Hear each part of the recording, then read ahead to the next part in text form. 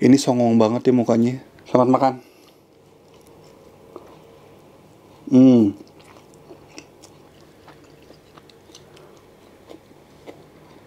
Oke guys, balik lagi dan di video kali ini gue bakal back to basic. Gue nge-review makanan artis lagi yang baru banget launching. Ini adalah ya kalian udah pada tahu lah ya. Kalian udah baca di judul. Ini adalah rendang Densuko. Ya, Densuko punyanya Denny Sumargo, artis, aktor, sekaligus pemain basket terkenal. Asik. Nah, dia baru banget launching ini rendang Densuko.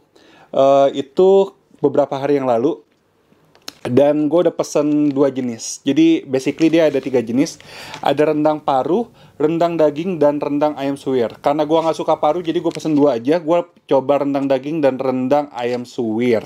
Gitu. Nah rendang densuko ini per pouch gini isinya 250 gram. Dan rendangnya ini dikirim langsung dari Padang. Gitu. Nah kita bahas uh, packagingnya dulu. Ini packagingnya pouch gitu berupa pouch. Terus ini ada gambar muka Densu. Ini songong banget ya mukanya. Canda untuk harga kita bahas belakangan ya guys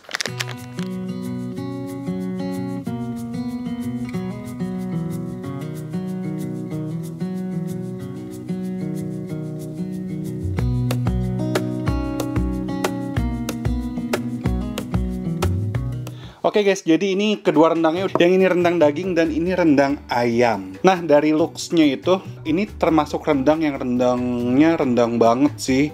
Jadi bumbunya sampai hitam banget gitu. Bukan yang rendang kalio gitu ya guys. Ini rendang yang kering guys. Terus ini yang ayam dari penampilannya ini ayamnya itu kayaknya udah menyatu dengan bumbu rendangnya gitu guys. Dan dia disuirnya tipis banget nih kayaknya. Cuman nggak tahu untuk rasa sama tekstur di mulut itu masih berasa gak tekstur ayamnya. Oke yaudah sekarang kita coba. Gue pengen makan pakai nasi ya guys. Nah ini nasinya. Sekarang yang pertama gue pengen coba rendang dagingnya. Nih guys, rendang dagingnya. Kalian bisa lihatnya ini bumbunya bener-bener uh, yang tipe-tipe rendang yang hitam bumbunya. Dan dia katanya dia masaknya uh, di slow cook gitu selama 10 jam. Ini tagline ini Anda puas kami lemas ya kan? lemas gara-gara masak 10 jam ceritanya gitu. Tapi kan abis lemas uh, dagangan laku semangat lagi karena ininya banyak ya kan.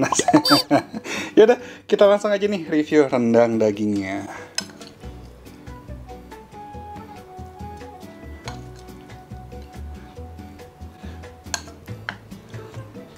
Oh, aromanya sih, hmm, medok banget.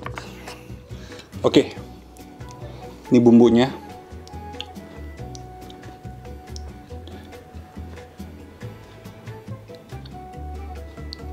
Kita coba ya rendangnya. Selamat makan. Hmm. Oh.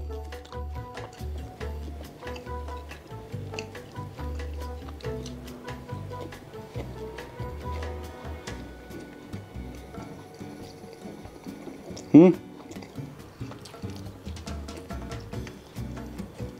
Ini bumbunya um, apa rempah-rempahnya berasa banget. Terus dagingnya empuk, bumbunya meresap juga sampai ke dalam ya, ya di di slow cook selama 10 jam. Yang pasti ini bumbunya medok banget sih. Dan ada sedikit rasa pedas yang gue rasakan di sini. Walaupun pedasnya nggak kuat-kuat banget ya guys.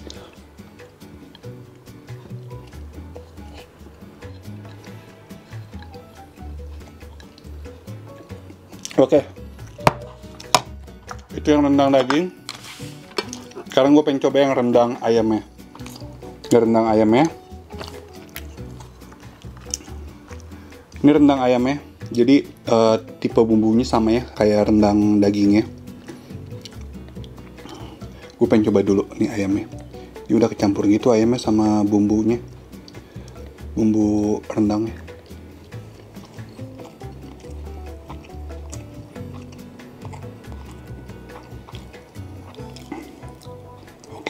Ini aroma dari kelapanya kuat banget. Lebih kuat daripada yang uh, rendang dagingnya.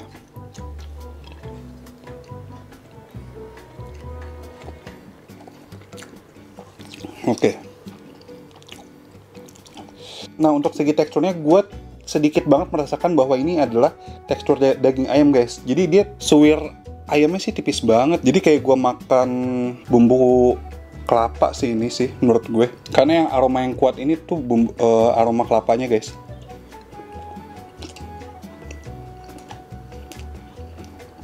Gue kurang bisa merasakan tekstur ayamnya. Yang gue rasakan di sini aroma kelapa yang kuat, terus uh, aroma rempah-rempah lain yang kuat gitu sih yang gue rasain dari rendang ayam suwirnya ini ini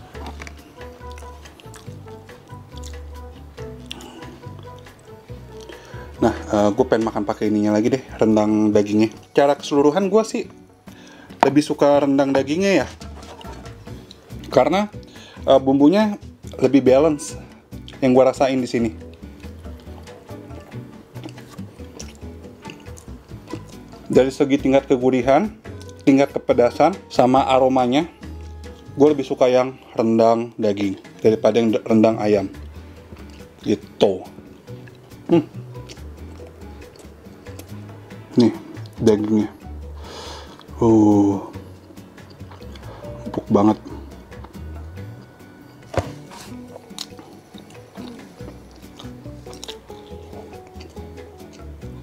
Oh. Oke okay guys, jadi gue udah selesai nge-review rendang Densuko ini. Anda puas, kami lemas. Sesudah lemas, Anda semangat karena dapat uang banyak dari penjualan rendang ini. Canda ya. Oke, okay, dari kedua rendang ini, dari rendang ayam dan rendang dagingnya, gue kalau disuruh pilih, gue lebih pilih rendang dagingnya. Kenapa? Karena rendang dagingnya rasanya lebih balance, dagingnya empuk, dan aromanya juga oke, okay, enak, menggiurkan. Uh, rasa pedes, gurih, dan dagingnya tuh enak digigitnya, teksturnya bagus banget. Bumbunya banyak, gue suka sih yang rendang dagingnya. Nah, kalau untuk rendang ayamnya, dari segi tekstur, gue tidak merasakan tekstur ayamnya, karena menurut gue ini ayamnya disuirnya terlalu tipis, jadi dia menyatu banget sama sama bumbu rendangnya gitu guys dan aroma kelapanya tuh kuat banget itu yang gue rasain sebenarnya gue menaruh harapan banyak dengan rendang ayam suwirnya ini. Karena gue lihat di fotonya Instagram dan sukonya ini rendang ayam suwirnya itu kelihatan banget tuh tekstur ayamnya. Cuman pas datang terlalu tipis menurut gue terlalu halus banget. Oke gitu kok Densu. Udah gue review rendangnya kan lo nantangin gue supaya gue review rendang lo dan gue review sejujur-jujurnya gitu. Dan untuk harga untuk harga per pouch ini 250 gram. Nah untuk rendang daging per 250 gram itu harganya 99.000 jadi rendang daging sama rendang paru tuh harganya sama uh, per pouch itu 250 gram harganya 99.000 guys. Sedangkan rendang ayam suwir itu lebih murah satu pouch 250 gram itu harganya 80.000. Untuk harga sih menurut gue standar-standar aja ya 250 gram itu 99.000. Karena emang masak rendang juga nggak sebentar juga kan, lama 10 jam dan harga daging juga nggak murah. Jadi masih masuk akal 99.000 guys. Yaudah sekian dulu review gue tentang rendang dan suko ini. Sukses terus buat Dini Sumargo. Semoga usaha barunya ini makin lancar dan semoga uh, masukan gue bisa diterima dengan baik. Mohon maaf kalau ada kata-kata salah. Yaudah, jadi bagi kalian yang suka dengan channel ini bisa langsung aja klik tombol subscribe. Dan kalau kalian yang mau follow Instagram gue, langsung follow Instagram gue anak titik kuliner. Dan akhir kata jangan lupa makan ya. Bye-bye.